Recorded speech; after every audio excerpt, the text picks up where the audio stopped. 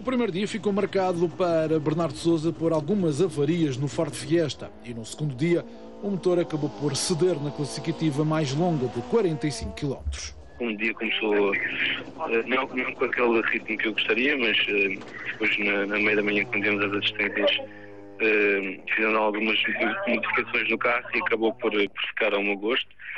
Já no, no primeiro troço da tarde, que tinha 46 km, a meio do troço sofremos uma, uma falha de motor uh, que nos fez nos fez baixar o ritmo subitamente e, e depois uh, levamos o carro até ao final e acabamos por desistir. Uma opção para não danificar ainda mais o motor. Bernardo Souza claro está, não planeava terminar a época assim.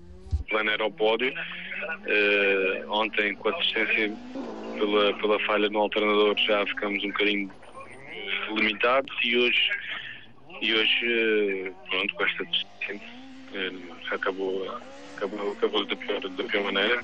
O pensamento é agora o Rally do Valeio de Peugeot 207 Super 2000 e tentar preparar 2012 que até pode nem acontecer para Bernardo Souza.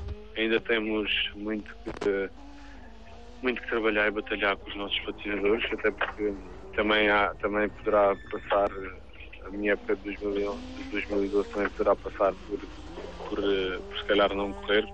Bernardo Souza e o futuro no Mundial de Rallys.